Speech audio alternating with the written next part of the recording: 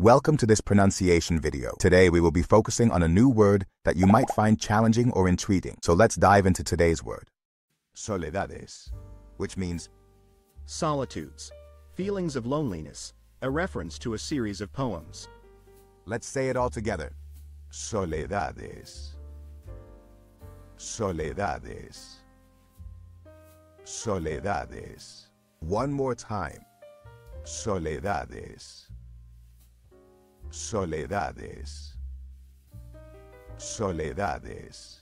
Thank you for joining us on this adventure in pronunciation. Remember, language is a journey, not a destination. Keep exploring, experimenting, and expanding your linguistic horizons. We'll see you next time.